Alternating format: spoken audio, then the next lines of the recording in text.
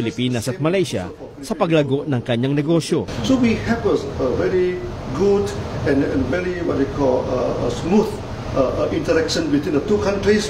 Okay, then from Philippines, okay, then we, we are able to expand to uh, America, and from America then we go to the Latin America and we expand. So basically, half of the DXN empire, we can say that is originated from Philippines. Kabilang sa pinuntahan ni Dr. Lim ang kanilang head office sa Pilipinas na nasa Quezon City. Pagkatapos ay nagtungo rin ito sa Davao City at sa Baguio City kung saan nagsagawa siya ng leadership training. Plano na rin ng kumpanya na magtayo ng sariling planta sa Pilipinas kung saan inaasahang makikinabang ang mga nasa sektor ng agrikultura.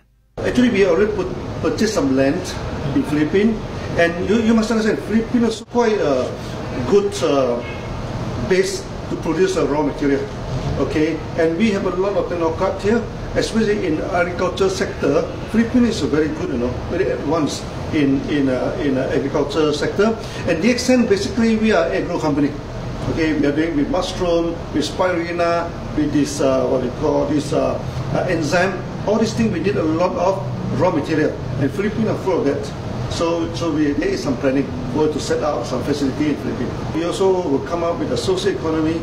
There's a thing to interact with the farmers, to interact with the locals, okay? So that maybe we'll share some experiences to them. May payo naman si Dr. Lim sa mga gustong magtagumpay sa negosyo. Una, dapat ay gusto mo ang iyong ginagawa. I think to successful in any business, first thing first, you need to do something that you wanted to do. You never do anything that uh, uh, against your wish, okay? And and uh, and if the thing you wanted to do, and there must be a purpose in your business, okay? They, they must serve some purpose, no? Uh, that in uh, in this uh, social uh, economy uh, stance. So one one the purpose is good, and it's something that you would like to do, so you will do it every day. So when the time's uh, long enough, you'll be successful.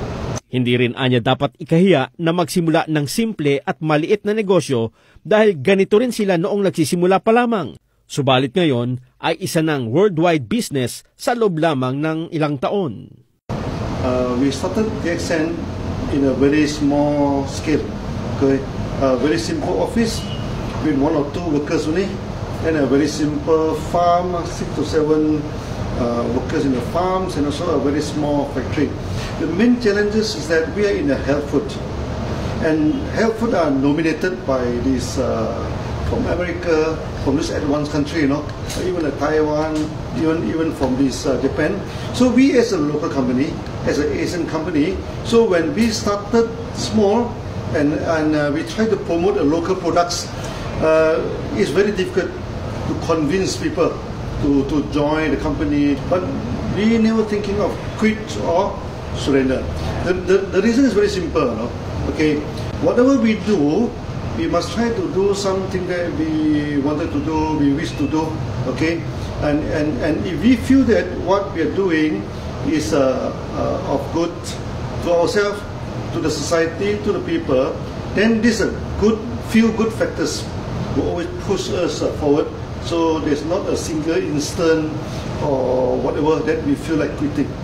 Ang tagumpay ng kumpanya ni Dr. Lim ang siya namang nagsisilbing inspirasyon ngayon sa marami nating kababayan na naniniwalang kung nagawa ng iba, magagawa rin nila. Para sa Eagle News, Nelson Lumao, I'm one with 25.